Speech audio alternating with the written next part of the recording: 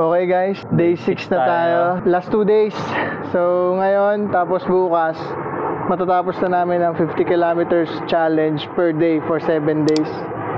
Ah, nararamdaman namin so far, ako medyo sumasakit na yung hita ko, yung left na hita ko medyo masakit-sakit na. Nararamdaman ko na yung pagod. Ikaw ba, Mabs? Oh, mabigat na ang ano ko eh, binti ko eh. Oh, medyo iba na. Kasi Ramdam na ang sakit eh. 5 days straight tapos ah, 50 kilometers. Hindi kami sanay nun eh kasi majority mga 30 kilometers na ang bike namin. Hindi kami nag-straight na 7 days.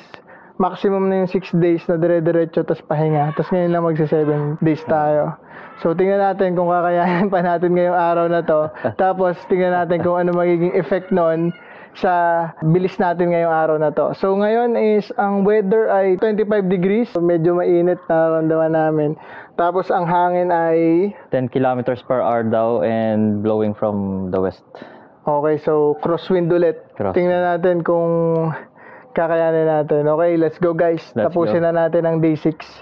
Let's go. Tara. Mukhang wala ng power guys. Nararamdaman ko na eh. Mabigat Oo na. bigat na. Mabigat. Tingnan natin kung gaano tayo kabilis ngayon guys. May crosswind pa eh. Baka Hindi ka na makakatodo ngayon. mukhang wala na. Naubos na namin na. Kahapon na yata yung last reserve eh. No? Oo. Oh. grabe Ayan, ang oh. traffic. Ayan guys, traffic oh. Friday Parang eh. ngayon na lang ulit natin nakita na ganito ka-traffic dito ah. Ah, ngayon lang nagka-tra... Well, ngayon lang namin nakita ang ganito ka-traffic. Ah, hindi, may nag-aakot ng basura. Kita nyo naman guys. Mabilis pa sa amin si kuya. Oh. Kasi wala na talaga eh. Pagod na ako. Sige, Hindi maaari ito. kalma lang sir, kalma.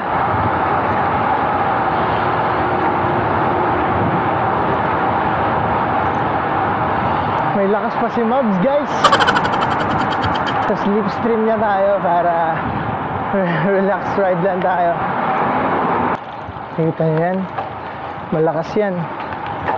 Hihingi tayong tulong. Matanda na, may bag pa.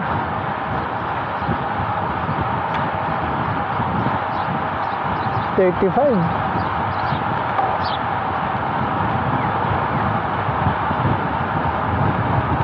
Lakas to. Meron pa guys.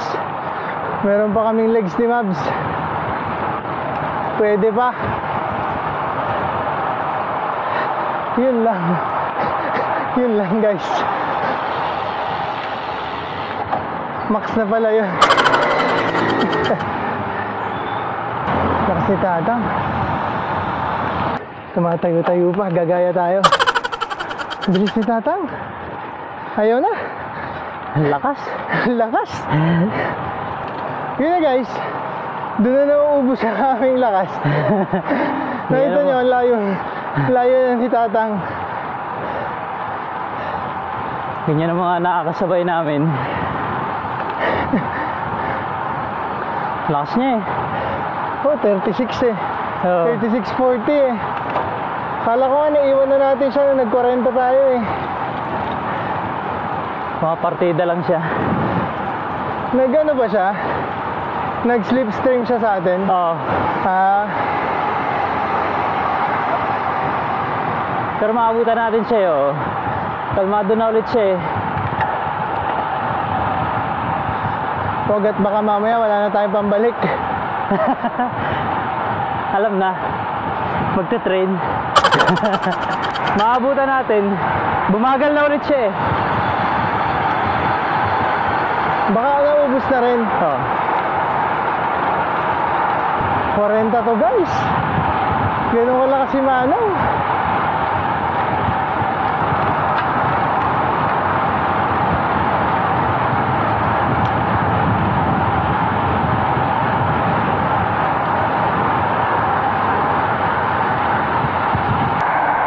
Ako naman.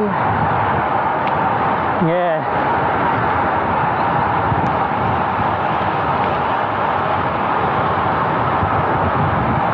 Lakas talaga yung ano. Lakas si Manong guys. Grabe.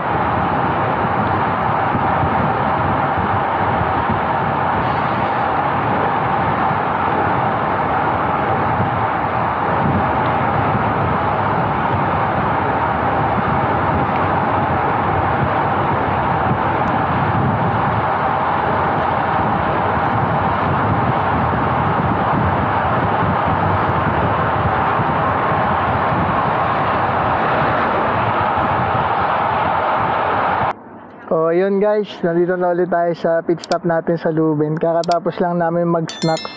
Ang total kilometers natin is 28.7 kilometers. In one hour. Tapos in 1 hour. So ang speed namin nasa 28.7 uh, kilometers per hour din yung speed namin dito sa Leuven. Ngayon, babalik na tayo sa Brussels. Akala namin nung nagsimula kami kanina, medyo nasakit-sakit na yung legs namin eh. Pero konting pedal, okay na ulit. Oh. Pero, ewan natin, tingnan natin mamaya kung meron pa. Ayun na namin magsabi kasi pag sinabi namin masakit na yung legs, baka mabilis pa rin kami. So, tingnan natin. Hindi kasi ano eh, pag may nakakasabay kami na mabilis, napapabilis din kami eh, kahit pagod na.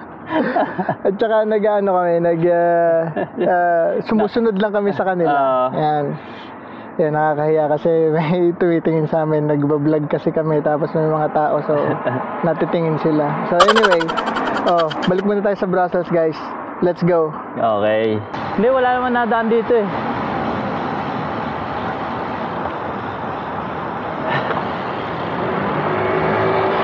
Banat.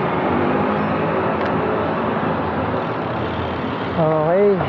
Ito na naman tayo guys. Kung nagtataka ka pala kayo kung bakit paulit-ulit tong ano namin. Ah! Naksidente siya. Ha? Yung babae. Ano nangyari? May nasa likod mo? Ano nangyari? Naksidente siya oh. Ano yung kalahati ng mukha niya. Gas-gas? Oh, hindi lang gas-gas, pasa. Ah, Sige sir, mauna ka talagang... ay talaga? Oo. tapos, Hindi ko napansin. gas-gas yung ganto niya oh, yung legs. Aw, Grabe. hindi ko siya napansin. Sinong ate doon? Yung matangkad. Yung nandito sa kaliwa? Oo, yung nasa Ah, kawawa naman. left side. Ano tayo? Ito na naman, nakakita na naman si Mabs ng... Yung mahirap kay Mabs eh. Alam mo naman tayo. Pag nakakita ng...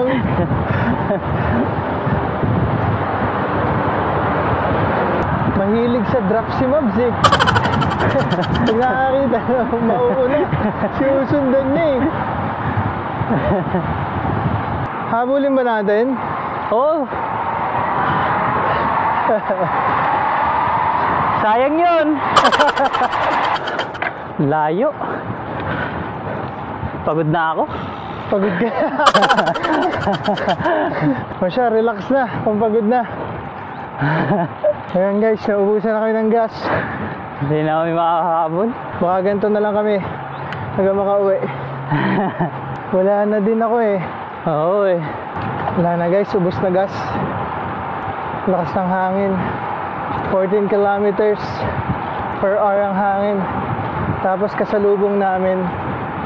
Malakas. So, hirap pumidal. Oo.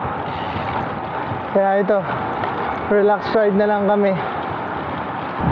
Kailangan mag aero kami ni Mams.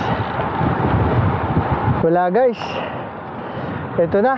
Talaga Relax mode na lang kami. wala na, bus na eh. Currently, ano, 44 kilometers tayo. Ngayong day 6, pero talagang alaws na eh.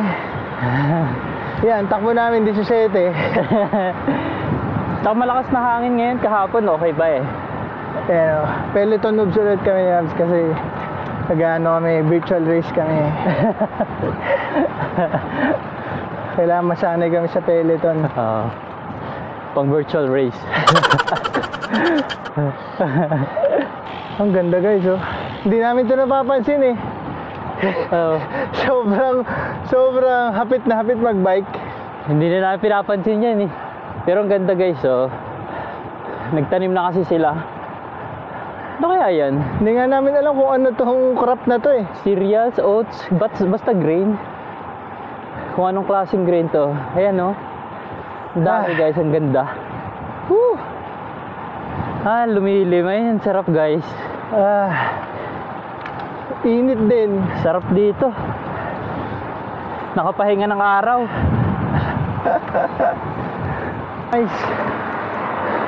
Last stretch. Ang huling pagsubok. Ang huling pagsubok. Ang paahon. 4% ang gradient nito. Ah. Ay, go. Whew. Ilang meters kaya to, no? Mga 260, 270.